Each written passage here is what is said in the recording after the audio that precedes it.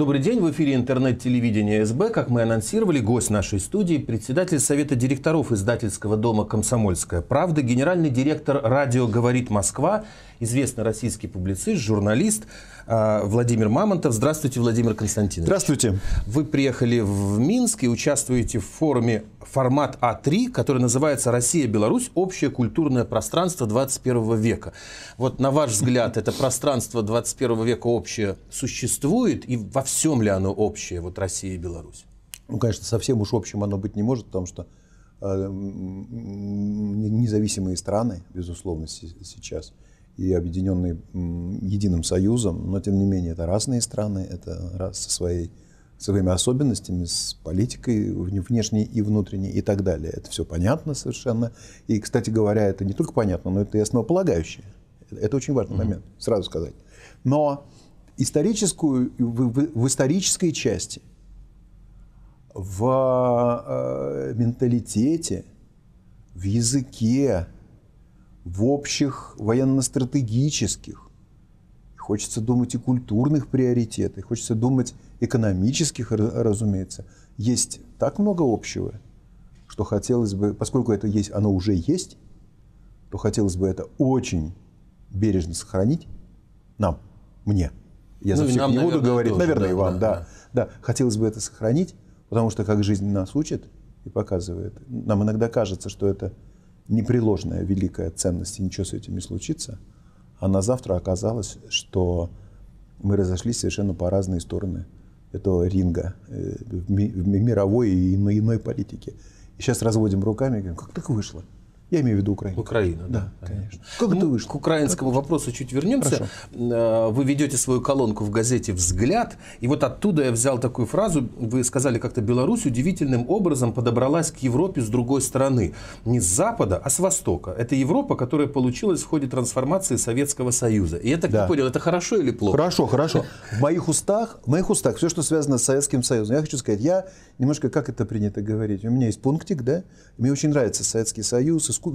кино, искусство, а, некоторые вещи даже... Ностальгия по молодости Ностальгия... или, или принципиально? Не, не, это очень принципиально. Угу. Я понимаю все ужасные, тяжелые или там, в общем, глупые страницы в, в, истории нашей общей страны. Это я все понимаю, безусловно, но, но любви не утратил. И интереса не утратил, и изучения этого, и так далее.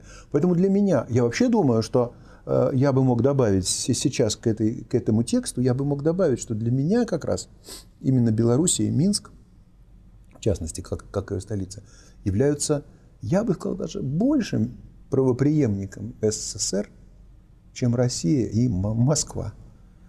Вот вы говорите, хорошо это или плохо? Ну, наверное, у, у всякой медали есть две стороны. Но в каком-то смысле, конечно, мне кажется, что это хорошо. И делать даже не в ностальгии. Вы знаете, есть такая вещь. В России колоссальная... Вот какой, какая главная нехватка сейчас в России – вот вы, небось, думаете, сыр или хамон или что? Или, может, рыба белорусская знаменитая, которая, значит, белорусская рыба, которая к нам теперь поступает. Спасибо вам большое, что вы тут выращ... выращиваете столько да. лосося. Мы ее только перерабатываем. Я шучу, конечно, да. да. На самом деле, спасибо, правда. А, смотрите, думаете, это что ли главная нехватка? Да нет, у нас в России, извините меня за, э, может быть, это мое личное мнение, может быть, кто-то со мной согласится и так далее, э, справедливости. Вот у меня какое-то чувство внутреннее, что в Белоруссии больше справедливости. Ну, не буду говорить чистоты на улицах, там это все банально. Банальный, это да, банально. Да, да. Я как-то описал. Э, никому не понравилось мое описание, как по Минску едет старая советская машина с новым пылесосом и чистит это. Ну, мог бы написать про этот новый пылесос-то, это правильно, а вот что он про старую машину-то написал? А мне нравится эта советская старая машина. Мне кажется, что эта старая советская машина нас еще везет и Россию, и Беларусь, и будет еще вести. Поэтому я действительно отношусь э, к этому советскому наследию с уважением. Я бы не хотел его выкидывать вот так легко, отбрасывать э, вместе с тем плохим, что в нем было. Друзья, у нас работает интерактивный чат. Вы можете задавать вопросы гостю студии, участвовать в нашей беседе. Я предлагаю иногда переходить на вопросы от, от зрителей. Да. Да? А, вот некто спрашивает, так, нужно, спрашивают, нужно ли России лечиться от имперских комплексов? Угу. Вот такой вопрос. Кстати говоря, я действительно э, читал, что ваши коллеги вас считают большим ну, знатоком. Имперцем. Да, имперским. Нет, они говорят так, пишут, что э, знаток проис, э, происходящих на постсоветском пространстве процессов. Но часто даже в своих интервью вы рассказываете, что действительно как-то на каких-то конференциях, там по Крыму еще... Э, Э, вы, э, вам не очень нравится, когда некоторые постсоветские республики, угу. там, э, в частности, шла речь об Армении, я помню как-то о Казахстане, угу. ну, как-то недовольны чем-то Россией. То есть вас это как-то затрагивает и ну, возмущает, да. почему они недовольны? Возмущает – это сильное слово, но, безусловно, я к этому отношусь личностно, и э, в этом есть эмоция. Да, то есть, да. и э, вот, может быть, исходя даже из угу. этого вопроса, действительно есть мнение в маленьких бывших республиках, что надо вот нам, Россия не утратила что надо нам свои... в санатории слегка нет, подлечиться. Нет, нет, нет, от это грубовато, да, ну что не утратила имперские немножко, амбиции, и самое главное, да. что за счет Грязевые этого... ванны может принять какие-нибудь. Нет, да. Златоглавая говорят, что она теряет своих истинных ну, я не знаю, союзников, что да, ли, потому да, что да, пытается да. с ними говорить на менторском да. тоне. Вот да. существует такое, не да. существует. Какое у вас мнение? Вы знаете, я скажу так. А, значит, для меня совершенно ясно, совершенно ясно, как россиянина, угу. и как, ну, я вот все как к знатокам там истории не отношу. Я журналист. Это я всю жизнь ну, журналист. Публицист вы Публицист, еще там, журналист, да, да. ну, ладно. Не в этом дело. А, значит, э, я э, по внутреннему своему ощущению, я четко э, совершенно понимаю, что России и россиянам, и мне э, излечиваться от каких-то имперских амбиций, это вещь э, какая-то странная. И знаете почему? А потому, что когда это была империя, а это, безусловно, была империя. Конечно, и сейчас да, это обломок империи, это Россия, а вы тоже по-своему обломок империи, да? А Россия большая, и там в ней еще есть что отпилить при желании. А вот у вас уже поменьше, да и вас можно при желании потом там это только так кажется, что это вот там где-то, а у нас этого ничего нет, у нас тут все хорошо. И, и знаете, если враги найдутся, попилят. И нас, и вас. Э, значит, это, это ну, похоже это я вам это... на Украине, если уже... Конечно, мы же да, все да, видим. Да, да. Мы же все видим. У Украины уже две, а то и три, а то и пять. Вот разве это хорошо? Разве те, кто жил в Советском Союзе, я немного отвлекусь, если те, кто жил в Советском Союзе, это чувствуют сами, как сколько наций, национальностей, со всеми трудностями своими, с проблемами, конфликтами и так далее, жили, учились вместе, работали, дружили, женились. Ну, кто, тот, кто знает, как это было устроено, как та, та, та, та советская любовь была устроена, тому не надо этой толерантности. А насчет имперской, э, толерантность пустое слово и глупое. А любовь хорошая. Любовь и дружба хорошие слова. Русские и белорусские, они одинаковые, по-моему, да? да. Сябры. Ну, у нас любовь к неодушевленным, а кахание, а, а кахание это к человеку. Где Знаете, если вы приедете и скажете нашей девушке, что вы ее кахаете, кахаете она поймет. Она поймет. Она поймет. Самое главное. Да, это совершенно правильно. Да. А вот от имперских, не, не знаю, надо ли нам всем. А вот смотрите, а зачем украинцы, скажем, примем их сейчас за самый крайних такой, крайний фланг, зачем они от этих амбиций излечивались? Половина маршалов Победы – украинцы. Половина каких-то, я не знаю, с царских времен министры, государственные деятели, а, генеральные секретари ЦК КПСС. Слушайте, а зачем так быстро? Может быть, это не империя была? Может, это что-то другое было? Может быть, мы заврались сами себе?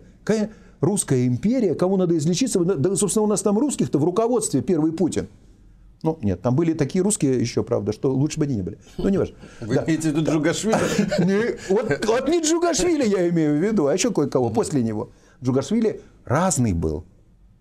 И страшный негатив и трагедию, которую он принес, я бы все равно продолжал с тупым упорством, меня иногда в этом обвиняют, не с тупым, а правильным, я бы сказал, упорством, сопрягать все время с его ролью политически, мировой, позитивной ролью. Почему нет? Ясно. Мы немножко... Так что а, торопиться не да, надо. На, на э, да, мы, конечно, примем ванны в Сочи, а теперь уже и в Крыму, и полечимся немножко от имперских амбиций. Там, мы ванны, грязи там есть. Да, теперь у вас есть Крым. Кстати, у вас довольно во всех интервью жесткая позиция по Украине. Ну, насколько, вот, на ваш взгляд, все-таки, если вы подчеркиваете, что вы журналист, да, да. насколько себя правильно ведут СМИ и Украины, и России, вот с точки зрения освещения этих событий, э, не кажется ли вам, что это какое-то, знаете, агитационная идеологическая схватка, Спор. спор, Схватка, да, там война идеологическая, но не журналистика. Я, я извините, сам пишу да, тоже да, да, колонку, и вот э, один из своих блогов назвал «Хочется правды об Украине». Получил 200 комментариев, и все проклинают друг друга. Одни были из России, вторые из Украины. Вот так как вы оцениваете Вы СМИ знаете, в этой вот схватке? очень правильно вы хотите, очень правильное ваше желание, и оно абсолютно, абсолютно верное, и я бы сказал, вот, ну, это то, что нужно сейчас. Но бывают такие эпизоды в жизни, мы, можем потом ругать себя, корить, э, говорить, что мы сами виноваты, или кто-то виноват, или Госдеп виноват, неважно. Но сейчас уже такая ситуация, когда э, вот этой самой правды, правда должна вызреть. Она должна, должно что-то устаканить. Вот сейчас пошли аккуратные сигналы. Слава богу, они исходят э, своим началом из Минска, кстати говоря. Ну да, как... э, Минские соглашения площадки, уже да. теперь, да, как площадки. Я, я бы сказал не только как площадки, а я бы сказал еще и как политической некоторой... Насчет воли я бы не сказал так уж сильно воля, да, а сказал бы политической э, предрасположенности к таким вот к таким решениям, к поиску мира. Вы знаете, э, Путин хорошо говорил в ООН, а Лукашенко тоже говорил не- не- очень хорошо, я бы даже сказал, понимаете?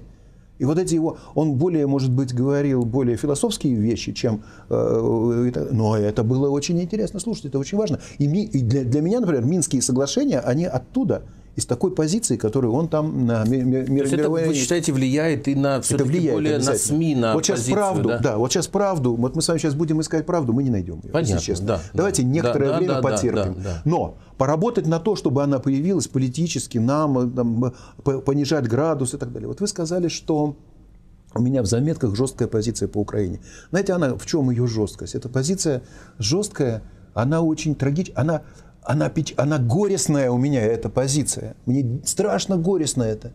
Потому что, ну, во-первых, я думаю, где же я виноват и в чем ли- лично? Ну, как человеку не, не, не, не свойственно ни, в- ни в чем при- признаваться. Ну, я ни в чем не виноват, конечно, но кто-то же виноват, да? Для меня это очень личностная вещь. У меня много друзей на Украине. Ну, у мы всех у нас того работали там, да, мы времени, работали да, да, там. да. И вы знаете, для меня некоторые вещи, они совершенно непонятны.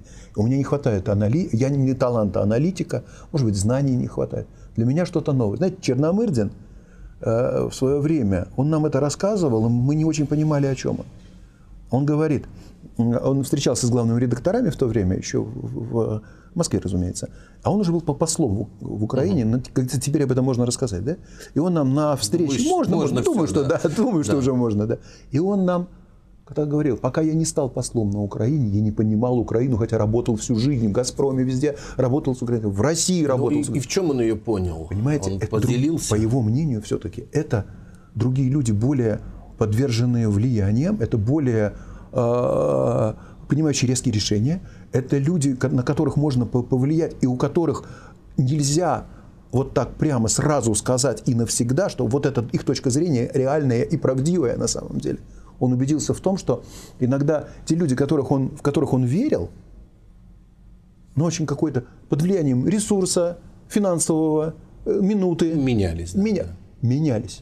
Политического, политической атмосферы они Ну, менялись. и тем не менее, вот не хочется наш разговор вот чисто на такой- Украину переводить. на Украину переводить Да, совсем да. уже. Тем более, Но что это, это проклятие какое-то. тема уже просто Вот Украины. Просто да. проклятие. да. Мне один раз понравилась фраза, ну, все мы переживаем, у Да, всех друзья, переживаем, родственники, там жены. Все равно на Украину едем. Да, ну, ну, да, едем. А, а, есть такая фраза, хохол никогда не помирится с москалем, а украинец с русским, вероятно, помирится. очень- да. это очень грамотная То есть, вот, э, вот, не знаю, мне кажется, что нужно все-таки нам, журналистам, Да. найти в себе Надо, силы и надо, возможности надо. отойти вот от этой идеологической Знаете, везде, где схватки, меня- да. везде, где меня и понять, что есть просят, я русские и украинцы, и все-таки это славянские великие Да. народы, которые должны как-то жить ну у нас есть, у нас есть потрясающие, конечно, примеры печальные.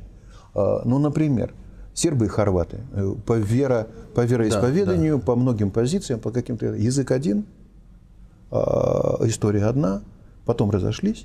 История Ну, это разная, плохо, это, это тоже плохо. Но они же в конечном итоге сейчас, ну хотя бы там нет во войны, нет этой ненависти.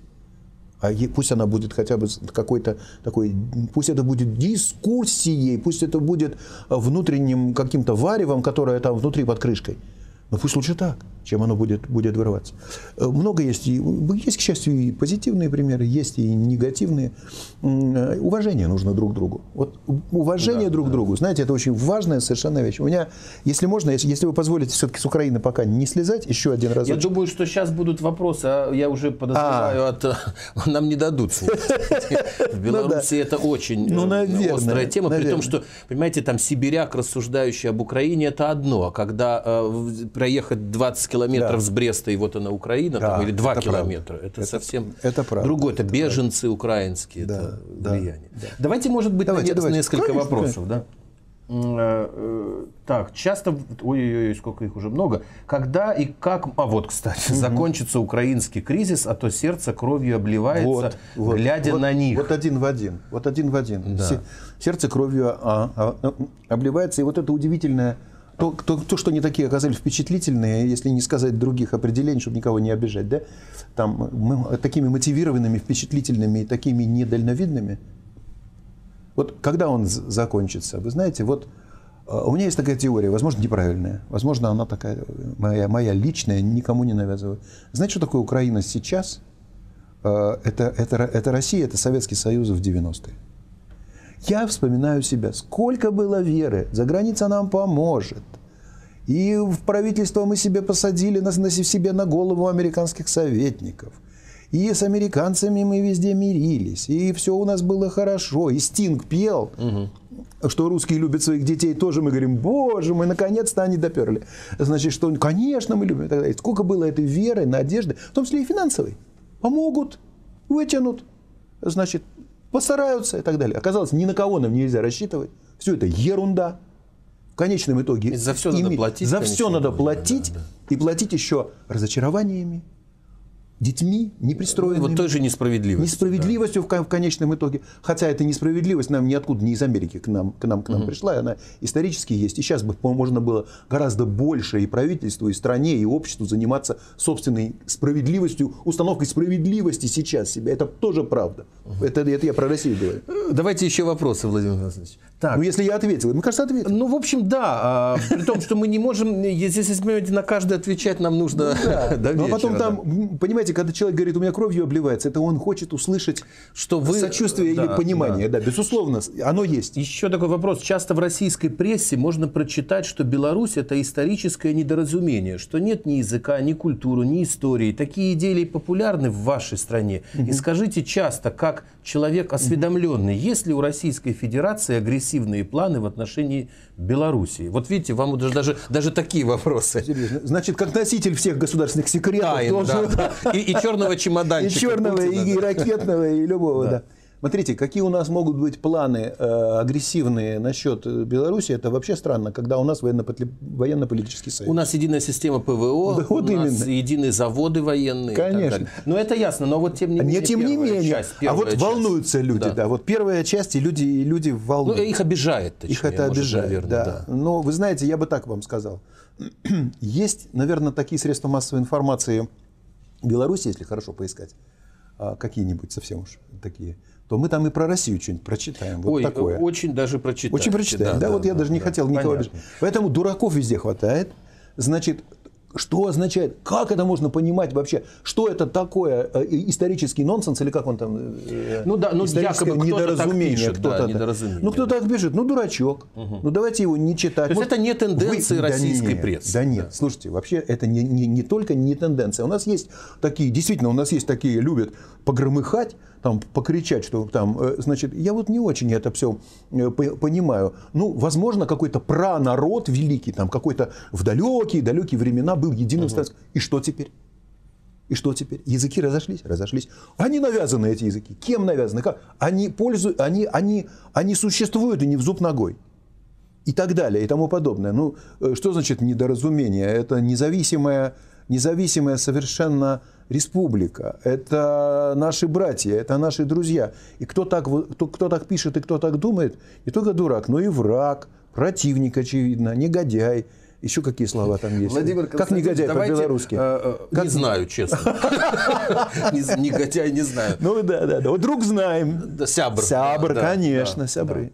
А э, вопрос такой, каким вы видите, у нас злодеи всех называют. Злодеи? Типа вот злодей, вот злодей. Ну, типа злодей, да, да. Ну, это очень близко, да, да. А каким вы видите будущее евразийского интеграционного проекта? Это прям, у нас вчера был Рапота здесь, вот надо было его тоже спрашивать. Да, его, безусловно. Ну, тем не менее, вот как ну, я, я как, как, как журналист, да, я великих тайн ты не знаю, там, как, как они собираются это, это, это дальше развивать.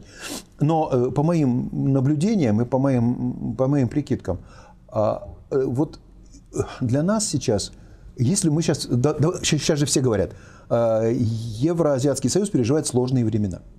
Ну, понятное дело, там рубль падает, там у вас не все, слава богу, там есть на нас давление, да есть там в мире то, не да все, и в мире, да. в мире вообще кризис, если честно. Да, да. Мы иногда, ой, у нас кризис. Слушайте, да посмотрите, что в мире творится. Ну, правда, все говорят, ну, Китай там с 7% на 4 упал, ну и ладно.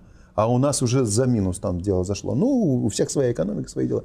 Да. Но, но мне кажется, что альтернативы союзу нашему нет. И если мы сейчас в ужасе друг от друга побежим, а есть такие люди. Вот вы спрашивали, он говорит, есть люди, с которыми я дискутирую. Я дискутирую с ними, потому что э, иногда э, вот в такой э, в опасении таком сиюминутном э, много глупостей делается.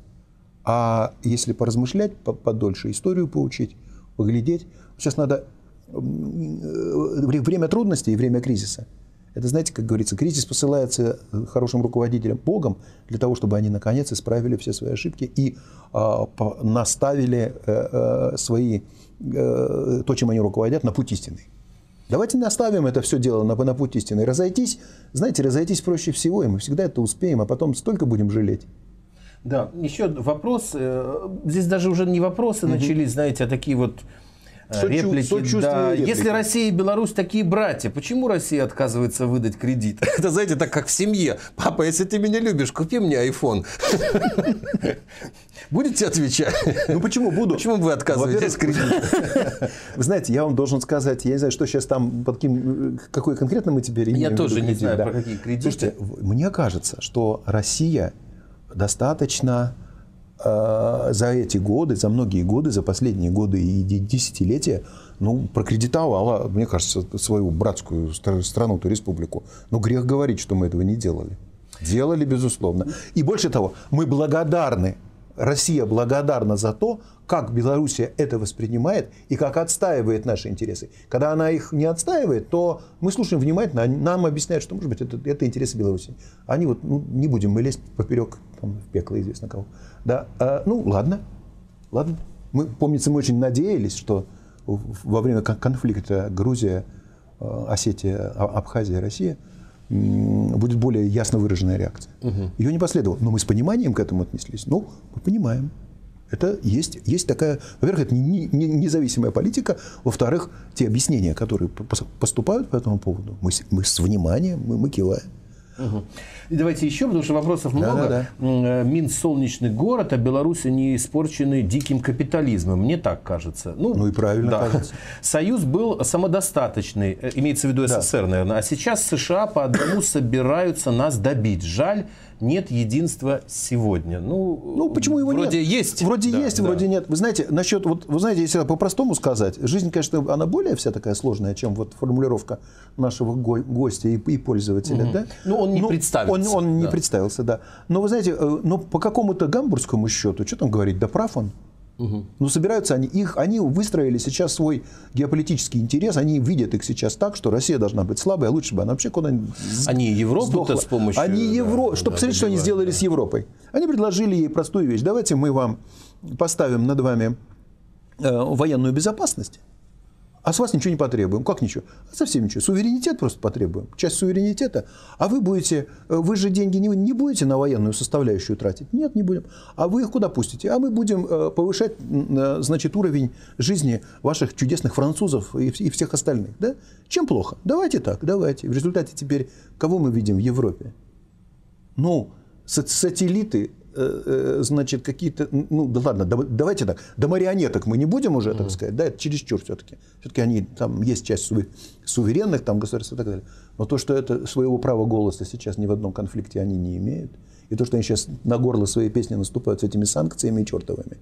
Э, с кем не встретишься там, и кто не приедет в Москву из бизнесовых людей. Но мы-то давно под санкциями, знаете. Вот, кстати, да, совершенно. Да. Все тамошние люди говорят, так что вы думаете, они не, не, не захотят сюда приехать, если вы им разрешите заводы какие-то построить, инвестиции привезут? Да приедут. Они плачут сейчас, что они в Россию, они там такие планы, значит, наполеоновские строили. Ну просто, наверное, Беларусь им более жесткие требования вот выдвигает. И молодец. Да и молодец. Белоруссия выдвигает жесткие требования, в Россию их свое правительство не пускает. Что, куда христианину податься, я не знаю. Вот да. они, они, они, они маются и постоянно высказывают. Там У меня тоже вот вопрос про европейские ценности. А, есть такие фраза, что европейские ценности существуют, ну, и для россиян важны, так как э, Россия – это тоже Европа. Одни так утверждают. Ну, Другие говорят так, что европейские ценности – это плод западной пропаганды, что они навязываются России, и они совсем не нужны. Вот как, какой, какая позиция у вас? Слушайте, у меня позиция такая. Есть ценности и ценности. Есть европейские ценности, которые совершенно укладываются и в наши с вами ценности, и белорусские Некие ценности. Общечеловеческие, общечеловеческие библейские, библейские да, какие хотите. Да? Есть культурные ценности. Есть некоторые вещи, которые не отменишь и в зуб ногой. Они, они касаются некоторых экономических постов. Они касаются, там, я не знаю, того, что солнце всходит на, на, на востоке и падает на западе. И так далее. Это, это, это все очень важные ценности. Но дальше есть совершенно другие ценности, которые в Европе вроде бы тоже ценности. Ну, например, там, Разнополые браки, возьмем, яркая такая вот история, да, про эти самые Они притом борются за они это, там достигают борются, великих успехов. Да, они да. достигают великих успехов, их требуют, чтобы здесь в Минске и в Москве проходили гей-парады. Вот прямо им больше не, нечем заняться, вот как потребует от, от нас это, это, этого дела. Является ли это ценностью для нас? Да не является. Должны ли мы сейчас переломить всех ребят и все-таки поклониться, упасть, значит, и сказать? Да нет. А потом это никакой такой ценностью не является. Вера, веротерпимость Э, вполне сдержанное, вполне... Э, до какой степени? До какой-то тоже, степени, да, да, да э, отношение может быть нашей ценностью, может и является, мне кажется по отношению к другому, другой вере, там, другому э, Хотя образу всего у, у нас здесь был отец меру. Федор, э, проповедник известный белорусский такой, который утверждает, что Кажется, Европа... я даже знаю о нем. Да, Европа потеряла свои, вот веру свою. То есть нет конфликта веры, она ее просто упустила и потеряла. Да. Ну, вы знаете, я вам скажу так. Э, Европа и Европа тоже есть. Там, как говорится, и ты прав, да, и да, ты да, Да, Европа. Там тоже есть Европа. Вот я вам говорю про бизнесменов, которые приезжают и плачут, что у них рынок России, они, они потеряли. Знаете, также в европейских странах есть немало политических сил, немало политиков и кого хотите, и у высокого уровня и так далее, которые вообще-то очень надеются, что Россия является последним оплотом того, что они как раз не считают этими самыми ценностями, и которые э, по тем или иным причинам они вынуждены якобы исповедовать. Знаете, когда сейчас одно дело исповедовать толерантность, это хорошо, типа толерантность замечательно, да? Когда это вообще толерантность, и когда к тебе миллион ребят да, заедет да, из Сирии, из, из Судана, из Сирии, да. на, начинают насиловать тебя, взрывать да. тебе, значит, э, что они там взорвали недавно? универсамы они на концертном каждый, зале, каждый, каждый вот в Париже, в Париже да, да. После в, Шарли Эбдо они повзрывали Абсолютно, еще они там, да. они там взрывали. Это другое дело. Это, знаете ли, возникнет серьезный вопрос. А что это я исповедовал? Какую-то толерантность. Я был в Бордо, вы знаете, там эта толерантность дошла до какой-то уже фантастической значит, степени. Э, э, лицевая сторона э, христианский храм католический, огромный, большой собор – ну и да, там туристы ходят и так далее. Костел, а так, костел. Костел, да. Обходишь, обходишь его с другой стороны, на эту стену при, прикручено баскетбольное кольцо, угу. и такие смуглые ребятишки, значит... Э, э, там, да, там, там многие вещи в Гер... некоторых Слушайте, ну, городах ну, ну давайте отменили... это кольцо кольцо, ну, ну, ну там, где-то в другом месте. И вообще это, ты вот так вот переходишь через мостик, другой мир. Это Европа. Папа ну, Римский впервые в этом году в своей рождественской проповеди да. призвал европейцев не отмечать Рождество из-за угрозы террористических актов.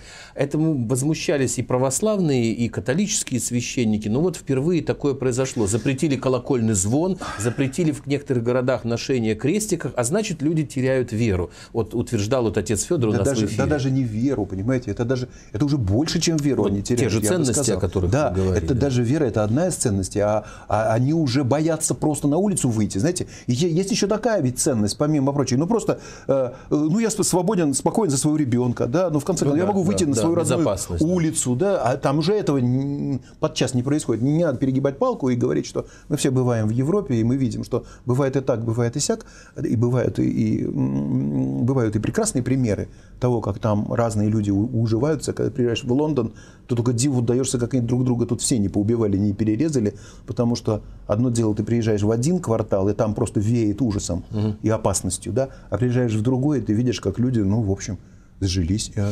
Владимир Константинович, давайте пару вопросов, да. потому что все-таки эфир у нас какие-то имеет, имеет рамки. рамки Удивительно. Да. Беларуси тоже имеет да, рамки? Да, да. Нет, вы знаете, эти рамки, наверное, вызваны интересом зрителя, потому что есть классическая формула, больше 40 да. минут не смотрит. Это правда, это правда. Да. Вопрос. Мне так, так, так, так, так, три сразу. Угу. Если бы не Янукович, ничего, опять про Украину, опять про Украину. этого не было. Просматривается Согласен. явный шантаж со стороны Штатов, денежки там, наверное. Да не наверное, а точно. Точно, Абсолютно денежки, совершенно. Да. Если не Янукович, хилый, э, дряблый, угу. бессмысленный, еще и проворовавшийся. Воровитый чуть-чуть. Да, вор... да, да. да чуть-чуть. А может, не чуть-чуть. Чуть-чуть да. совсем Крымчане да. мне рассказывали. Никакие э, Ющенки не облагали Крым угу. такой безумной данью, как при, прибывший на их плечах, они голосовали за Януковича, прибывший на их плечах Янукович. И что после этого они должны оставаться кем? Когда при первой возможности побежали в Россию. А, мне кажется, что очень у многих ностальгия не просто по Советскому Союзу, а по тем человеческим добрым отношениям, которые были тогда. Как вы считаете? Абсолютно ну, правильно. Вы ответили. Я принципе, ответил на да. этот вопрос. Знаете, вот эти человеческие отношения, это и есть главная ценность. Ваше мнение по беженскому, по, ну, по потопу беженцев в Европе? Ну, тоже мы об этом тоже немножко, с вами нем, говорили. Немножко Мне поговорим. хотелось э, задать вам вопрос все-таки вот как ближе к журналистике. Э, ну, как, угу. Потому что сам занимаюсь интернет-порталом нашим, и вот э, сегодня вечный спор идет, когда создается информационный ресурс. Там должна быть там тизерная реклама, девушки в купальниках, сайт знакомства и так далее, чтобы привлечь трафик. Угу. Или все-таки, как кто-то сказал, нужно читателя поднимать на уровень писателя писатель. Угу. И приличные вещи писать блоги, хотя это не всегда популярно. Вот как вы видите информационные интернет-ресурсы и вообще современную прессу, на каким путем идти? С одной стороны рекламодатель, деньги, тиражи, посещаемость, с другой стороны уровень интеллекта или что-то еще. Да. да. Вы знаете, это, вот, это кардинальный вообще вопрос, как умудриться заработать деньги без э, порнотрафика. Грубо говоря. Да, да, да. Знаете, какая вещь? надо рассчитывать вот на что. Надо очень тон... Работать надо тонко. Страшно сказать, но мы с вами в какой-то момент можем посмотреть какой-нибудь очень рискованный сайт. Можем? Можем. Можем. А что надо прямо это говорить? Да. При этом у нас сидим мы там вечно с утра, с утра до вечера, и больше нас ничего не интересует. Нет. Мы с вами про Украину говорим, мы с вами политикой интересуемся и так далее, и так далее, и так далее. Вот надо стараться. Мне кажется, что вот если политический серьезный какой-то ресурс, не надо ему, конечно, иначе от него отвернуться вот серьезные политические ну, да, лояльная люди, аудитория, лояльная аудитория увернется. Да. А если у тебя другая задача, если у тебя задача, ну скажем так, ты народный какой-то ресурс, да, и ты хотел бы привлечь массовую аудиторию и в какой-то момент аккуратно грубо, аккуратно, но грубо говоря, задвинуть ей какие-то важные для тебя вещи, ну, может, порнотрафик-то уж, уж, уж не надо, но, конечно, по, ну, поработать... с конкурса красоты можно. можно да. Я считаю, можно. Угу. Я считаю, можно. Это во мне говорит э, шеф-редактор. И, мы, да, мужчина и шеф-редактор «Комсомольской правды» и да, главный да. редактор. Вот я так и хотел сказать, это комсомол. Мужчина да. железно говорит, да. абсолютно. Я приветствую фотосессии с э, конкурсом красоты. Вечный спор идет по поводу комментариев в интернете. Он идет и в Европе, и у нас, и в России. Да? То есть э, одни считают, что комментарии должны модерироваться, или постмодерация, или премодерация. Другие считают, что должна быть полная свобода, пиши, что хочешь. Третьи вообще запрещают комментировать. Да? Вот интересно, какой какое у вас мнение? Премодерация. Премодерация. Если да. говорить вот попросту вам ну, Как у нас? Да. у нас премодерация. Премодерация. Да. Понимаете? Потому что э, просто потому, что я же здесь сижу, я, и, знаешь, вот, ребята, знаете что, вы там пишете, вы, свобода, то есть, знаете что, я здесь хозяин барин. Да, при том, что... Моя редакционная политика. И даже моего противника. Если я не хочу, чтобы ты его обзывал, купюра, и опять купюра, да? Так ты не будешь у меня так его называть. И вообще идея. То есть, это э, правильно. на ваш взгляд, э, редакции, как вот сейчас в Беларуси, должны отвечать за комментарии, которые размещаются на их площадках? Моя да? точка зрения, что они должны, что этот фильтр должен быть э, четко структурирован.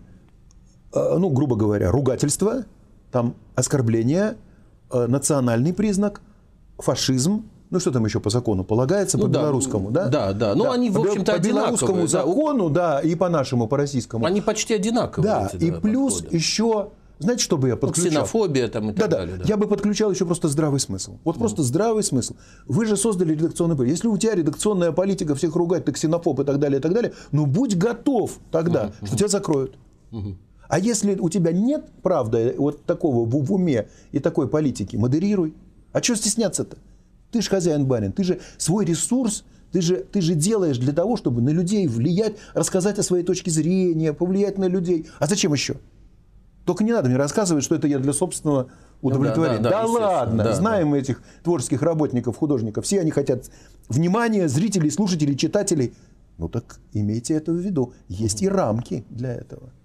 Общественные. Я знаю, у вас сегодня насыщенный график. У вас сейчас была встреча, вот вы у нас, потом у вас большая встреча вот здесь в Доме прессы. прессы. Спасибо, Владимир Константинович. Я напомню, Спасибо что... вам. Да, спасибо, что Спасибо приехали, вам. пришли с Москвы. Спасибо, спасибо. У нас был председатель э, Совета директоров издательского дома «Комсомольская правда», генеральный директор э, радио «Говорит Москва», известный российский публицист, журналист Владимир Константинович Мамонтов. Спасибо большое. Спасибо вам большое. И рады Спасибо. вас Рад. видеть в нашей студии в Беларуси и в Минске. И вы приезжайте к нам. Спасибо, бываем в Москве. Хорошо. До свидания, до встречи в следующих эфирах.